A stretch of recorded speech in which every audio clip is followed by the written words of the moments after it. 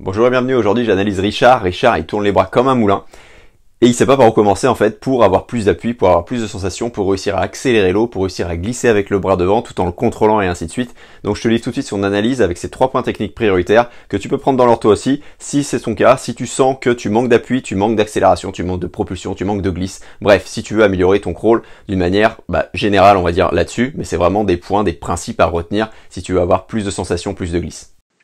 Ok, salut Richard. Alors le bon point, regarde, bah, c'est que tu es bien aligné, de la tête aux pieds, les pieds sont à l'horizontale, bah en fait t'es es projectile hein, tout simplement. Donc ça c'est euh, le point euh, cool. Le point à bosser en priorité, ça va être, regarde, tes bras, tu les fais tourner, et on sent pas ce temps de glisse, tu vois, devant.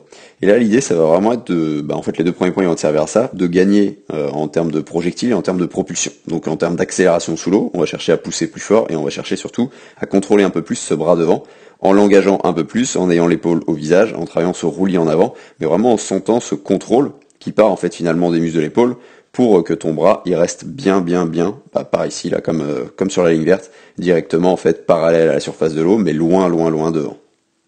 Le deuxième point, bah, comme je te le disais, c'est l'accélération. On va chercher à expirer aussi, parce que là je sens vraiment une euh, une retenue en fait sur l'expiration que tu euh, que tu te retiens que ça souffle à certains moments mais pas beaucoup et on va chercher en fait à jouer sur euh, sur l'intensité pour accélérer l'eau vers l'arrière.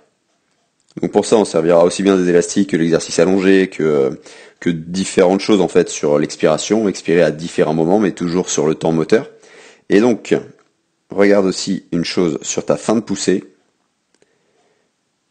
Tu vois ta fin de poussée, regarde ta paume de main, elle s'oriente très rapidement là sur le côté. On cherche vraiment à avoir le bras au corps. Ok, d'accord. Je vais revenir un petit peu en arrière. Voilà, ici. Là, ton bras, il revient au corps. Et tu vois, on sent que, bah, en fait, à partir de là, à partir d'ici à peu près, eh bah, ta fin de poussée, elle est plus, euh, bah, elle est plus orientée avec ta main, elle est plus efficace. Tu pousses plus d'eau en fait vers l'arrière. Et donc, bah, l'idée forcément, ça va être de garder le plus possible la construction des appuis jusqu'au bout, hein, pour être plus propulsif, pour prendre plus d'eau et donc aller plus loin à chaque mouvement. Et en gardant, bah, fait, la paume de main directement comme ici, enfin comme ici, comme juste avant plutôt, paume orientée en direction des pieds, et le bras, le coude, qui vient vraiment se coller au niveau du buste avant l'extension du bras. D'accord? Donc dans l'eau, ça peut être difficile des fois à ressentir. L'exercice allongé, tu as réussi à le ressentir. Et l'idée, ça va être de le faire aussi aux élastiques. Donc là, vraiment, ce qui doit se passer, là, quand le bras est collé au corps, ensuite, c'est vraiment une extension. Une extension au niveau de bah, la main va venir toucher la cuisse, le pouce va venir toucher la cuisse pour valider que tu es toujours bien orienté en direction des pieds. Parce que là, finalement, tout ce que tu fais, en fait, là, c'est dégager le bras. Là, il n'y a plus aucune propulsion.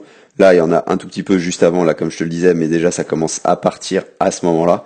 Et là, bah, là, c'est plus rien du tout. Alors que tu as déjà, tu vois, tu as toujours la main qui est euh, très, euh, bah, très basse, en fait. Donc, euh, tu es juste, en fait, à dégager le bras.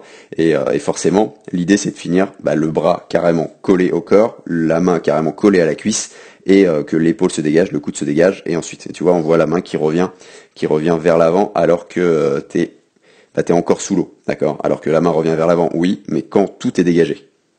Le dernier point, Richard, ça va être sur ton inspiration. Regarde, quand t'inspires, regarde où est ton bras, ici. Le bras, il est sous l'eau. L'idée, ça va être de le garder vraiment plus projectile. Ça va aller dans le sens du premier point qui va être de contrôler ton bras. D'accord? D'apprendre à contrôler, d'apprendre à contracter les bons muscles pour que ça reste vraiment projectile devant. Donc ça va être euh, la même logique, sauf que là, le repère épaule-visage, on va le mettre après ton inspiration.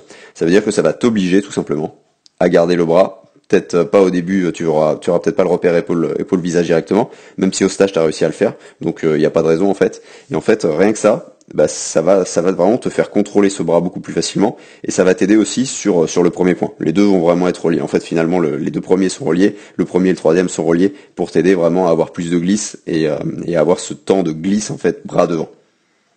Donc voilà pour toi Richard. Le bah, le point, bah, ça va être de chercher de chercher vraiment plus euh, plus d'appui pour avoir plus de glisse et pour aller plus loin et pour forcément bah, nager plus vite, mais tu auras vraiment plus de sensations.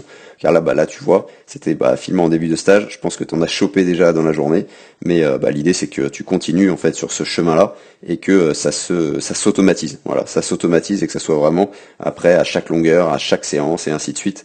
Et ensuite tu pourras passer sur une construction peut-être plus fine au niveau des appuis, au niveau du catch, euh, au niveau de tout ça, mais on commence vraiment par P3, par l'accélération, par le roulis, par ce contrôle du bras. Et euh, ça fait peut-être beaucoup de choses que je viens de dire, mais tu vas voir que ça va prendre sens avec les séances, ça va être beaucoup plus facile à suivre sur ce excellente progression. Si toi aussi tu cherches un crawl vraiment plus en glisse avec un exercice que recommandent les milliers de triathlètes qui l'utilisent en ce moment, l'exercice de la paume magique, je te mets le lien en description, lien vers une semaine d'entraînement offerte avec trois exercices en vidéo dont la paume magique. Je te laisse découvrir tout ça et je te dis à très vite.